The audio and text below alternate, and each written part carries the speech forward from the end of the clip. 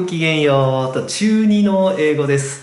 えっ、とね、比較っていうのに入ってたんですね。えーそれで、えっ、と、前回は2つのもの、ね、例えば A というもの、B というものがあって、その2つのものを比べた結果、まあ、え A は B より、えーどうですよ、ね、えー B は A よりどうですよっていう感じで、何々よりなんとかだっていう風なね、え表現をするのを、まあ、ちょこっとね、えスタートのところを確認してみました。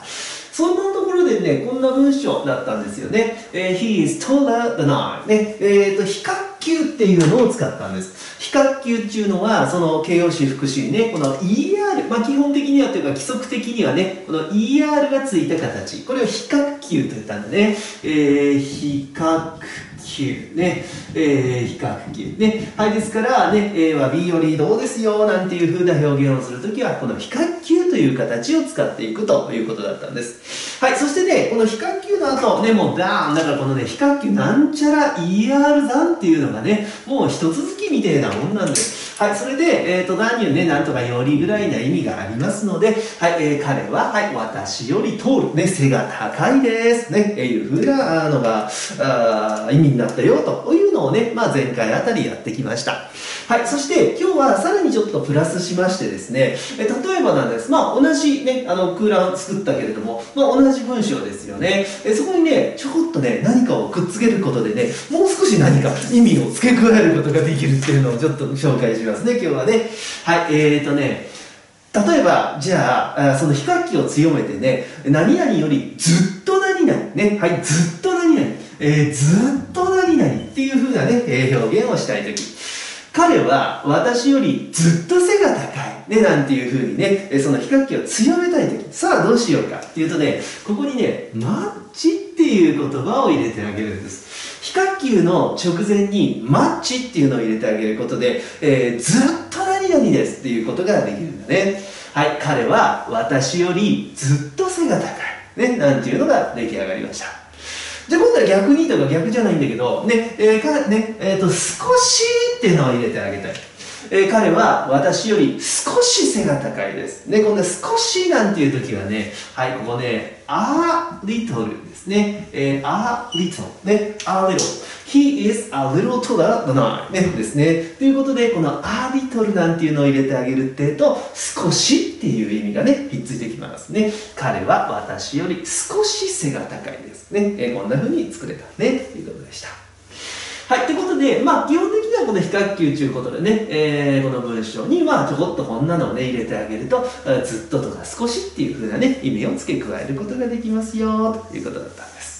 はい、それからね、もう一つちょっと違う話題でですね、はい、このね、形としては、疑問詞、ね、疑問詞。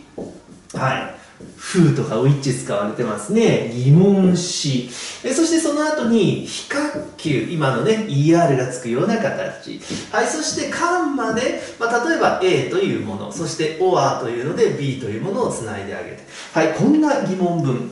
疑問詞比較級 A or B こんな形になってる文章ですなはい which is more beautiful ね beautiful なんていうのはね今日はちょっとここでは違なかったけど、えーちょっと長いやつには more をつけるってね比較級を作るっていうのがあった。はい疑問詞が来て非活球。そしてカンマ。A ね this flower or that one ね。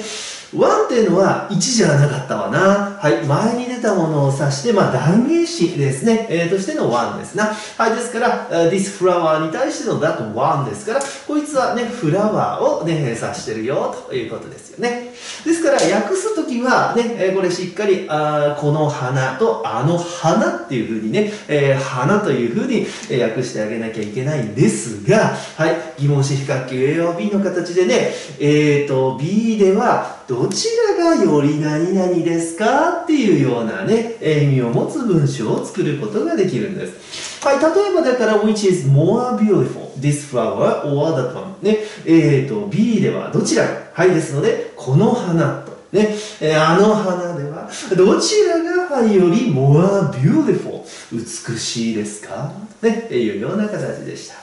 Which is more beautiful, this flower or the pond ね、えーこの花とあの花ではどちらが美しいですか？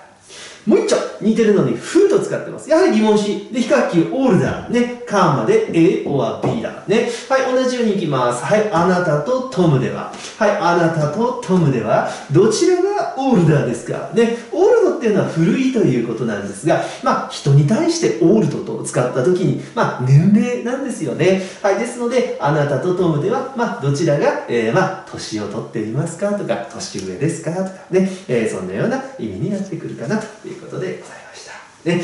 はい。で、えっ、ー、と、人を比べてるので、風という疑問詞を使ってます。物を比べてるので、ウィッチという疑問詞を使ってます。えー、ウィッチ風、ね、違いっていうのはこういうことですな。人を比べてる、物を比べてるの違いです。ただ、日本語にするときは、まあ、風だって、ウィッチだって、どちらっていうふうに訳してあげていいじゃないかということですよ。ね。ですから、あなたと友ではどちらが、ね、えー、年上ですか年を取っていますかね。この花とあの花ではどちらが美しいですかね。なんちゅうようなところでございました。ってことで、ね、前回の、まあ、前回単純なね、こういった比較級の文章を紹介しました。でそれにちょこっとプラスすることでこんな意味になったよというもの、それから疑問詞比較級 A or B の文章ですね。えこんなものをさらにえね、紹介したということでございました。